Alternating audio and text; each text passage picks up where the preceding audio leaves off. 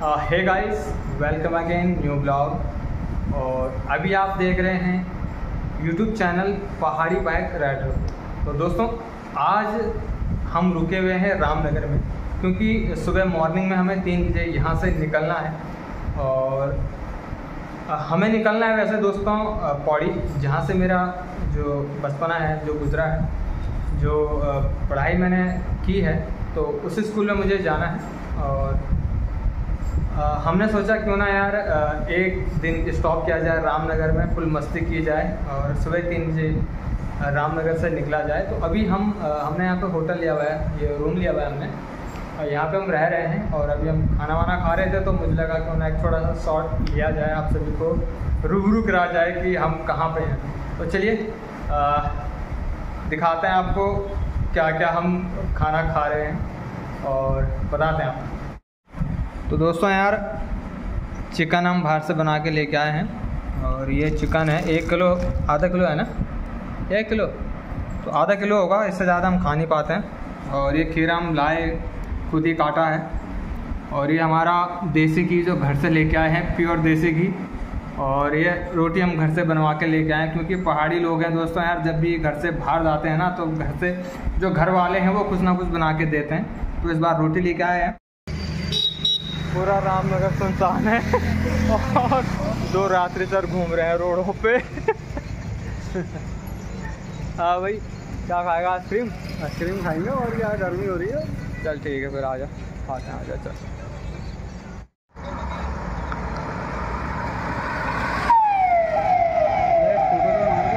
रुक जा बना रहा हूँ। पूरा रामनगर सुनसान है। दो दो रात्रि सर घूम रहे हैं।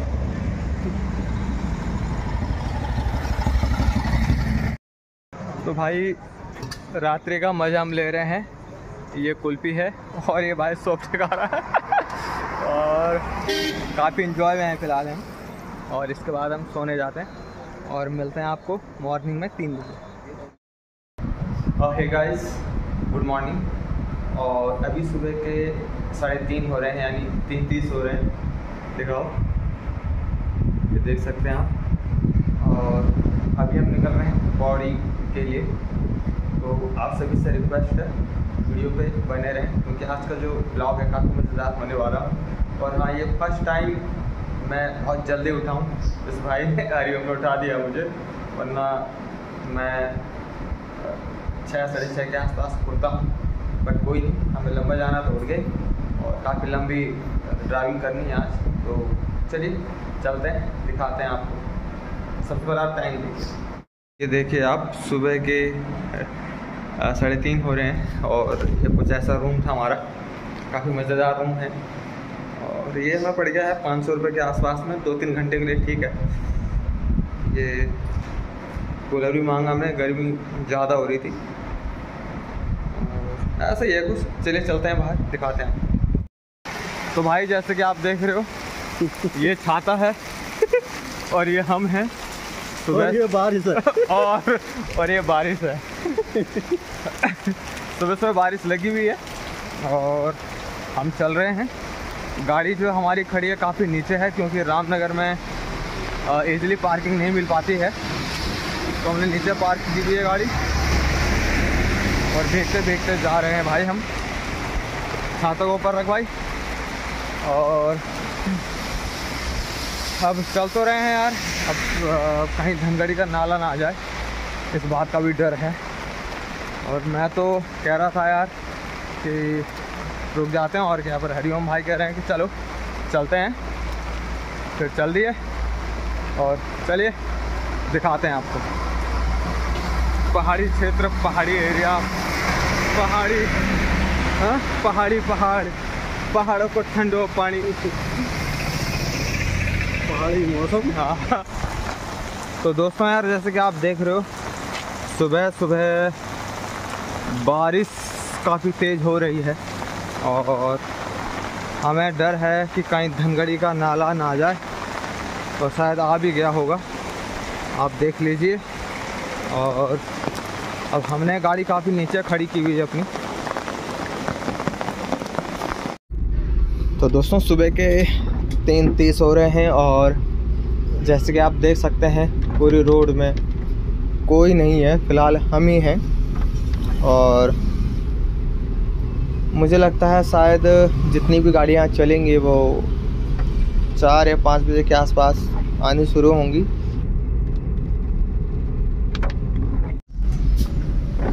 तो भाई हमारे हरिओम भाई सो गए थे। तो बीच बीच में ब्लॉगिंग नहीं हो पाई और अभी जस्ट उठे हैं तो यही फ़िलहाल वीडियो शूट कर रहे हैं। और हम हैं अभी शंकरपुर में और कहीं पे रुकते हैं और आपको व्यू दिखाते हैं शंकरपुर का। तो दोस्तों हम पहुँच चुके हैं शंकरपुर जो मरसुला से काफ़ी आगे है यानी हम मरसुला से काफ़ी आगे आ चुके हैं। और ये लोकेशन हमें दिखे यहाँ पे बहुत बढ़िया सुबह शायद अभी छः बज रहे हैं। तो देखिए, आप देख सकते हैं कितना प्यारा मौसम हो रहा है। काफ़ी बेहतरीन मौसम हो रहा है एकदम। अगर आप, मैं ये कहना चाहूँगा आपसे, अगर आप उत्तराखंड आ रहे हैं और मॉर्निंग के समय अगर आपको ऐसा माहौल मिलता है तो आप ये देखना ज़रूर, ये ज़रूर देखें आप। तो दोस्तों, ये वही शख्स है जो मुझे यहाँ तक लेके आई है। और आप देखिए कितना प्यारा नज़ारा। और अगर आप उत्तराखंड आ रहे हैं, अगर आपको ऐसा नज़ारा कहीं पे मिलता है तो गाड़ी रोक के ज़रूर मज़ा लें नज़ारों का। तो दोस्तों यार बड़े बड़े नालों नाले आए हुए थे जिन्हें बड़ी मुश्किल से हमने पार किया। जैसे कि आप जानते हैं तो धनगढ़ी का नाला हो गया। तो दोस्तों मैं पहुँच चुका हूँ दीवा डांडा। और यहाँ पे एक मंदिर है, काफ़ी अच्छा मंदिर है। कहते हैं कि जो भी यात्री इस रास्ते से अगर गुज़रता है तो वो वहाँ पे ज़रूर रुकता है। तो आपको दिखाता हूँ वो मंदिर और इसके बाद मैं पहुँचने वाला हूँ बीरो खाल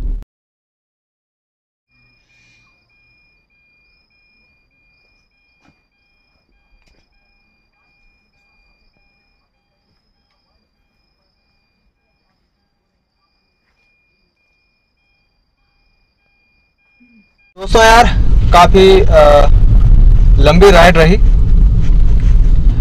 रामनगर से हम काफ़ी आगे आ चुके हैं और बीच में हमें धनकड़ी का नाला ही मिला था जो आया हुआ था बट जैसे तैसा करके हमने पार किया। और अभी हम पहुँचने वाले हैं बीरो खाल बीरो खाल काफ़ी अच्छा मार्केट है। और अगर आप आते हैं कभी इस इलाके में, पौड़ी वाले बीरो खाल वाले एरिया में तो बीरो खाल में ज़रूर रुकें, क्योंकि वहाँ पे आपको वो सारी सुविधाएँ मिल जाएँगी जो जलपान के लिए होनी चाहिए। और खाना वाना आप खा सकते हैं वहाँ पे। और और अभी आप देखिए देखिए कैसे पहाड़ी क्षेत्र हम अभी चल रहे हैं, आप देखिए। हरिओम भाई, आप आगे दिखाइए। फ़िलहाल कैमरा हमारे हरिओम भाई ने पकड़ा हुआ है। और आप देख सकते हैं, देखिए। मैं अगर मैं पूरे रोड की वीडियो बनाता तो वीडियो काफ़ी लंबी हो जाती। तो मैंने सोचा क्यों ना आ, कुछ कुछ पॉइंट आपको दिखाए जाएँ जो अच्छे हैं। और ये बेरो खाल वाला रास्ता है वन वे है। यहीं से रोडवेज़ सभी बसें यहीं से जाती हैं रामनगर के लिए। और यहाँ अगर आप ड्राइव करते हैं तो बड़ी सावधानी से करें। और मोड़ों पे आप हॉर्न ज़रूर दें। आप देख सकते हैं, देखिए बीरो खाल हम पहुँचने वाले हैं। और ये बच्चे स्कूल का वेट कर रहे हैं, स्कूल की बस का, या फिर नॉर्मल जो बस होती है, यहाँ पे चलती हैं, उनका वेट कर रहे हैं। बैठा हुआ है बेचारा। अगर मुझे कहता तो मैं ज़रूर लेके आता, और मैं लेके भी आया कईयों को। जिस जिसने लिफ्ट मांगी मुझसे तो मैं उसे लेके आया। क्योंकि यार ऐसा है कि हमने कंधे पे तो लेके जाना है नहीं। न्यू पॉइंट बीरो खाल नेक्स्ट टाइम यहाँ पे आएँगे तो यहाँ पे भी देखेंगे क्या है। बट अभी नहीं, अभी हमें कुछ अपने काम से जाना है। तो जब वापस में आएँगे तो ब्लॉग बनाएँगे बहुत अच्छे अच्छे आपको दिखाएँगे।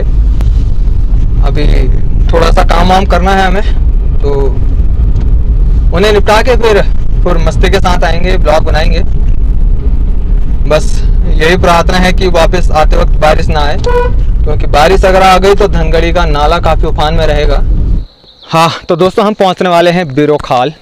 काफ़ी अच्छी जगह है। अगर आप थैली स्टैंड जाते हैं तो आपको बीच में ये बाज़ार ज़रूर मिलेगा। यहाँ पे आप थोड़ा सा रुक सकते हैं चाय पान कर सकते हैं, जलपान जिसे कहते हैं। और यहाँ पे थोड़ा सा अच्छा नज़ारा लगा तो मुझे लगा क्यों ना आपको भी दिखाया जाए। और अभी आप देख रहे हैं दोस्तों YouTube channel Pahadi bike rider. अगर आपको वीडियो अच्छी लगेगी तो सब्सक्राइब ज़रूर करें और लाइक ज़रूर करें।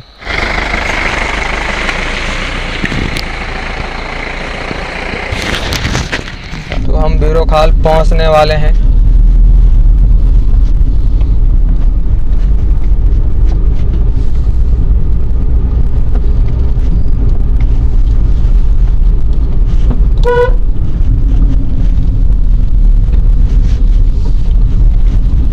ये देखिए ब्यूरो खाल आगमन पे आपका स्वागत है। आप देख सकते हैं।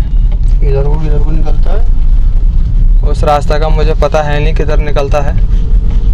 जिधर भी निकलता होगा ठीक ही निकलता होगा। अब यहाँ पे थोड़ा सा यार मामला ऐसे ही है।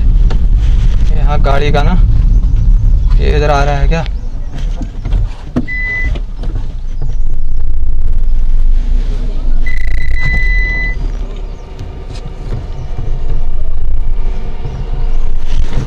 इधर को डाल ले बंद कर दूँ? रुक जा, रहने दे रहने दे रहने दे। उसको चलने दे।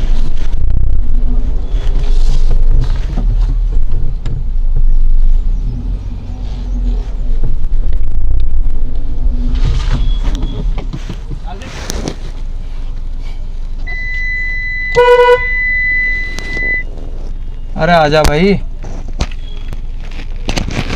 यहाँ पे बड़ी समस्या होती है। यही सबसे बड़ी समस्या है यहाँ पे खाल में क्योंकि सिंगल वे है।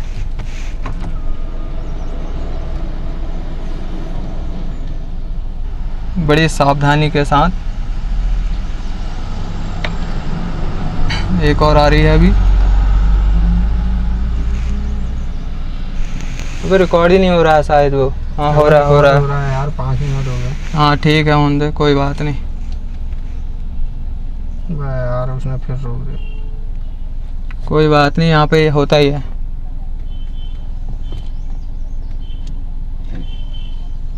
यहाँ से कितनी दूर है अभी? यहाँ से दो घंटा और मान ले। अबे यार वहाँ से भी सारा दो घंटे था यहाँ भाई यहाँ से भी दो घंटे है अभी। एक घंटा बैजरो और एक घंटा वहाँ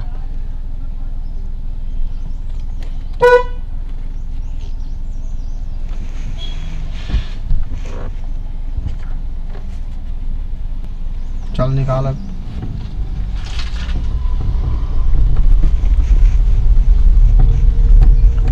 ये मोड़ इतना खराब है ना भाई साहब। इस मोड़ पे ना छोटा मोड़ है काफ़ी।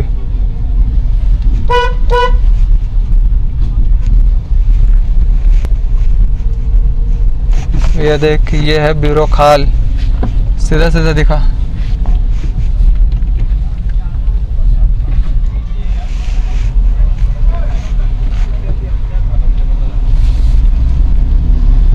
बीरो खाल की मार्केट जैसे कि आप देख रहे हैं। काफ़ी बढ़िया मार्केट है और तो दोस्तों, जैसे कि आपने देखा बीरो खाल की मार्केट, हम रुके नहीं, क्योंकि रुकना भी हमें सही नहीं लगा, क्योंकि समय की वैल्यू थोड़ा समझते हैं हम लोग, क्योंकि काम वाम भी करना है। तो दोस्तों, आपने देखा बीरो खाल की मार्केट। आई होप आपको अच्छा लगा होगा। अगर आपको अच्छा लगा होगा, अगर आप उत्तराखंड से हैं, उत्तराखंड को प्यार करते हैं तो चैनल को सब्सक्राइब ज़रूर करें। एक अपना प्यारा सा लाइक ज़रूर दें कमेंट करें। अगर आप कमेंट करोगे तो हमारा जो मनोबल है, वो बढ़ेगा। और हम आपके लिए नए नए ब्लॉग लेके आते रहेंगे। और यार आप लोग कमेंट करते नहीं हो वीडियो देखते नहीं हो, मन नहीं करता है फिर बनाने का। और आप लोग कहोगे, संजय भैया, तुम्हारे ब्लॉग नहीं आ रहे हैं। अरे ब्लॉग किसके लिए डालता हूँ? आप लोगों के लिए आप देखोगे नहीं तो यार क्या फ़ायदा डालने का? तो आप सभी से रिक्वेस्ट है मेरी। ये तीन तीन चार चार पाँच पाँच हज़ार का गाड़ी का जो तेल खर्च कर रहा हूँ, सिर्फ़ आपके लिए और किसके लिए? और आप लोग देखते ही नहीं हो यार वीडियो को। तो वीडियो को देखें। तो चलिए दिखाते हैं आपको और कुछ।